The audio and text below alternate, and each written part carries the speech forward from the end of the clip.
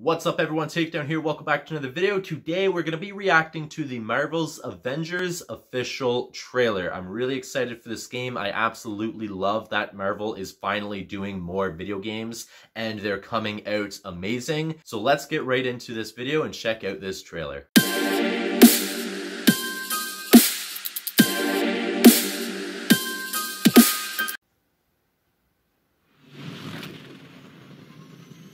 The graphics look really good so far. I knew it was going to be Square Enix instead of Insomniac, which created the Spider-Man game that was really successful. So I don't know if it's going to be the same, but I'm I have high hopes for it right now. I did. And it was awesome. Iron Man. It looks really good, honestly. Thor looks pretty good. Captain America's iffy. I mean, everybody looks really good. The graphics wise, they look good. They didn't try to copy from the movies because it's going to be its own version, if that makes sense. It's going to be separate from the MCU. It's going to be the video game story, in a way.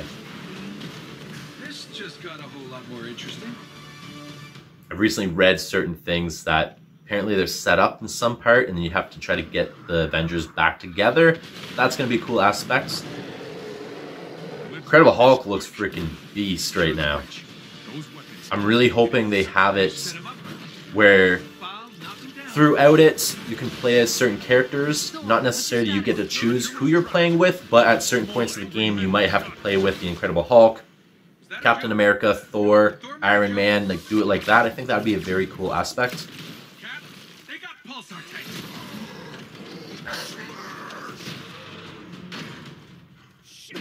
Like this part here, I could see, that was funny. I could see you playing as Hulk. And doing doing it that way. I think that'd be a better approach to it, and I think they're going to do it, I hope. Cap, what's going on over there? Don't know what's happening. Oh, it's been boarded. Okay. Somebody's trying to take over the ship? The Avengers ship?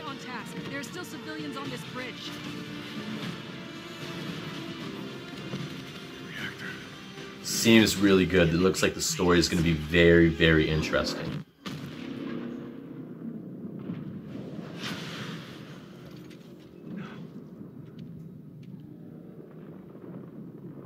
Well, there goes their ship. See? Set up. I think it's Miss Marvel they were murderers. trying to get them back together. The Avengers pose a danger to society. That was the question, Bruce. That was the question. Well, we all lost something that day.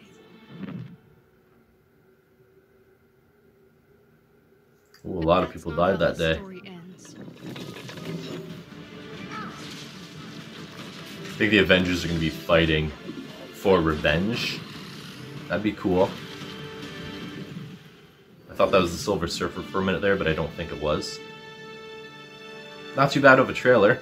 Still don't know who the villains are for this game, which I think it's better to wait for the game to come out to announce that anyways.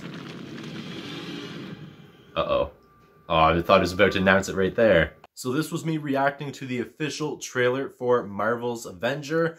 Honestly, it looks like it's going to be really good, but with the official trailer, it doesn't really show who you're going to be playing as and what it's going to be. Apparently, if you can kind of tell near the end of this trailer, because of whatever actions happen and whatever events happen, the Avengers are forced to split up, and then apparently they were framed, and Miss Marvel is trying to get everybody back together for the Avengers. So it seems like story-wise, it's going to be pretty sound, and I'm just, again, curious if, are you going to be playing as Miss Marvel, or is she just there to make the story more interesting? And are you going to get a chance to play as all of the Avengers? I certainly hope so, but I don't think it's going to be you get to choose who to play and you're playing as them. Even though I would love that if, let's say, at the beginning of the game, you got to choose your character and choose your superhero and follow the story through their eyes.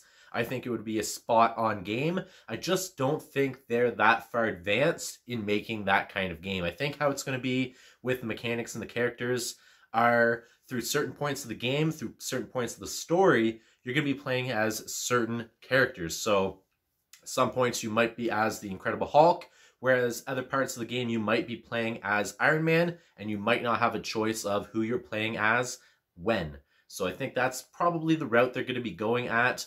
Kind of like Grand Theft Auto 5, where you're switching between the three characters, except you have no choice of which hero you're going to be playing at in certain points of the game. That's just, to me, how I think they're going to go about it. I really wish they did it my way, where beginning of the game you got to choose, for example, the Incredible Hulk, and you follow the story in their eyes because there might be certain things in the story that they see or reveal that other characters might not. So it would be awesome if you got to play the whole game through the Incredible Hulk, and then you got to play another playthrough as Iron Man. And I think honestly, if they were to do that route where you got to choose the character and only play as them for one run of the game, the game would last a lot longer and people would be able to play as all of the characters and it'd be a longer game where people could enjoy.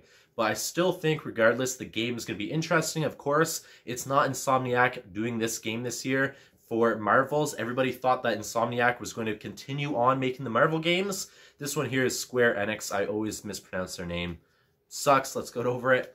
But having a different people coming in instead of Insomniac for the game, I don't know if the story, the art design of the characters, the game itself, or the mechanics are going to be the same. I hope they're going to be similar than what uh, Insomniac created. I think with PS5 coming out, the Spider-Man, the new Spider-Man game that was announced for the PS5, I'm sure that's going to be Insomniac.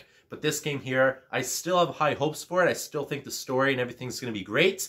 It's just not Insomniac, which is what I was expecting. I still think it's going to be a great game, and I think it's going to be very successful.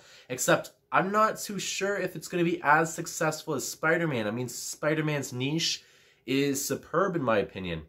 Of course, they're making a second Spider-Man game, and the Morales game that's coming out for Spider-Man is almost like an extension to the first game as like a new story from the first game. It's not actually the second Spider-Man. They are going to be making a second Spider-Man in the future. So it's very interesting to see. It will be successful in my eyes, just not as successful as the first Spider-Man game. Comment down below what you think of Marvel's Avengers. Do you think it's going to be good? Let me know. I'm going to leave this video here. Please take care. Peace.